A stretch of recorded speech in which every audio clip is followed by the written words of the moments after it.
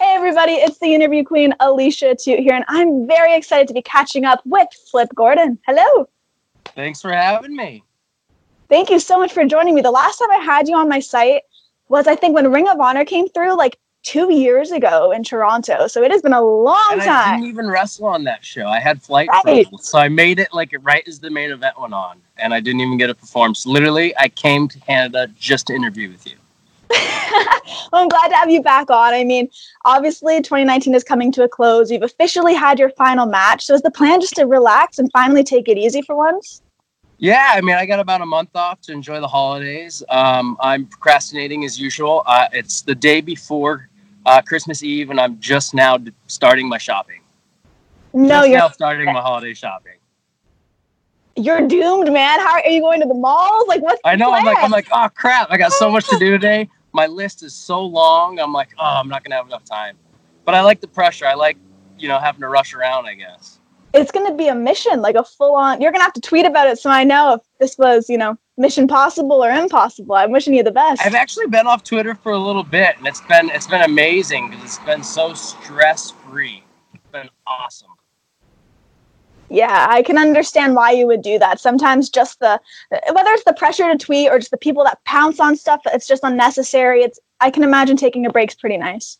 I've honestly been trying to take a little bit step back from social media as a whole, but Twitter mainly. Twitter's just like it's just so negative lately, and I just I don't want to be a part of it right now. I'm trying to good vibes, you know, like your poster behind you. I'm trying to you know be, stay peachy. So Right, right.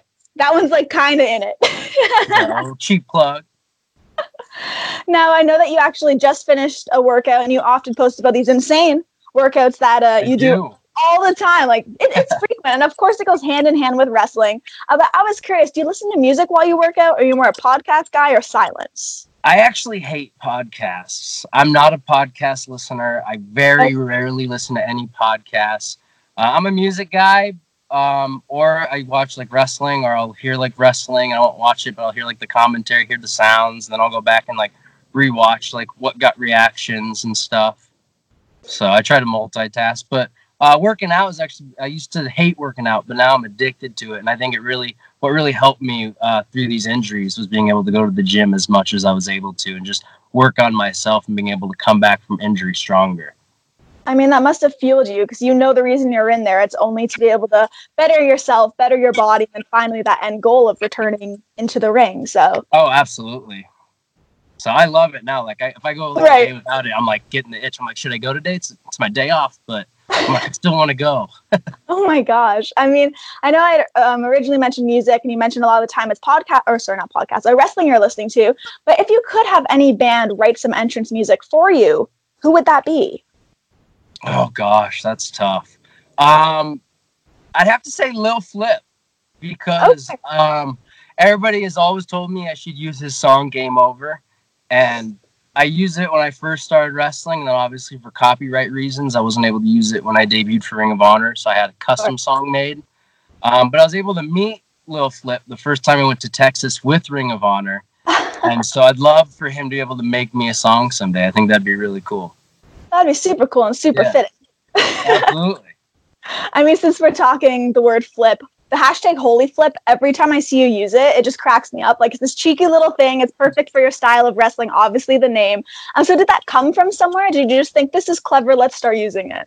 a fan came up with it actually i believe Okay. uh, chaotic wrestling i think was the first time i saw it and i was like yo that's clever so i threw it on a t-shirt and it did well and i go back to it every now and then Oh, that's awesome. I mean, obviously just speaking to flips, what runs through your mind before you actually do something fairly crazy in the? 'Cause I've seen you seen you do some things where I'm just like, holy flip, like how's this gonna go? i And try not to think it every about time. it, to be honest and when i flip Okay. i close my eyes because i get dizzy so i don't want to get dizzy Really? yeah That's never I've, never something i always have and I, there's like so many pictures where if you look um, like my eyes are closed or if you slow it down like videos you can see me close my eyes as i'm rotating huh.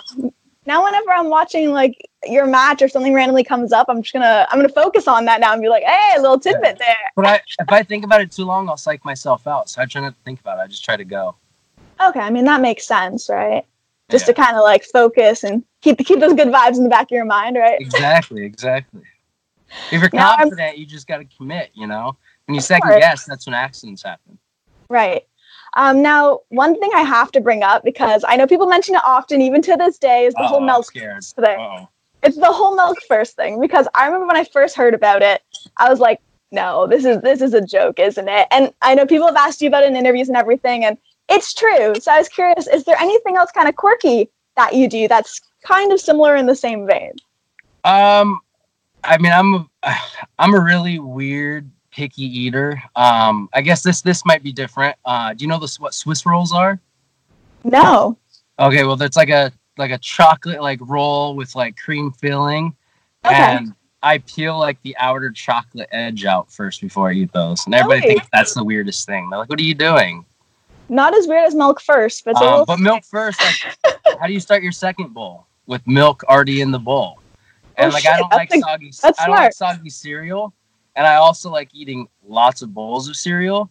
So I'll pour the milk in first, grab my bowl, the spoon. You know what I mean? Grab the cereal, walk to the other room. I- put the milk back in the fridge so it doesn't get cold or warm, and then I go eat and just pour until the milk's all gone. I mean, now that I've heard the logic behind it, it kind of makes a bit of sense. And then you don't have any soggy cereals. I mean, Right. people can laugh all they want, but that shit makes sense.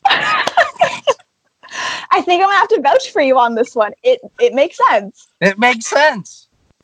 But people won't people won't go with it because it's not their typical way. It's not how they were Right. taught, so it's wrong. There's Ah, more than one way to eat cereal, guys. And actually the bowl comes first. right. well, I know you have a busy day. Knee slapper. you. Right. Um, you have to get some shopping done. So I just want to say thank you so very much for catching up with me and for hanging out today. Absolutely. Thanks for having me. It's always nice talking to you and catching up. Absolutely. Well, I wish you the best of luck wherever you end up going to uh, nail this shopping down. Enjoy your holidays and thank you. Appreciate it. Happy holidays and we'll talk to you soon. Uh, Bye.